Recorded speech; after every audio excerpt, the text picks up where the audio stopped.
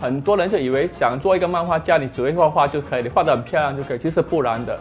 作为漫画家呢，你必须要懂得编剧、镜头分镜，必须懂得肢体语言、服装设计等等等等的一些技巧。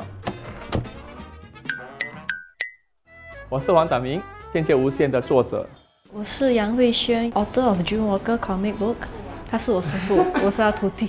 刚开始的时候，新加坡漫画在当时还并不是很流行，没有人可以教我，所以全部都是自己学的。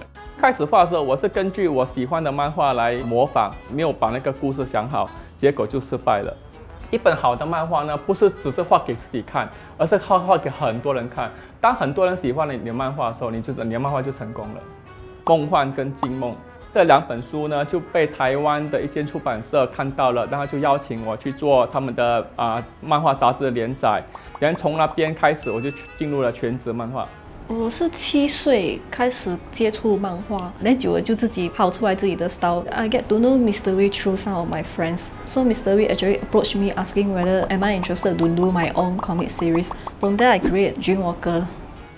那么最新的一部创作，我跟轩合作的呢，就是一部叫做《玄门》的漫画。这是我们第一次的合作。画之前，你必须先决定你要去哪一个地方，然后你用相机把你要的一些镜头先取出来，然后回去才可以做分镜。There's something called Google. so Google is the best friend for you to do all those research because you can hardly see any mountains in Singapore, so you really need to Google and search for it. 做好之后呢，先画那个草图，才可以更正式的开始画你的漫画了。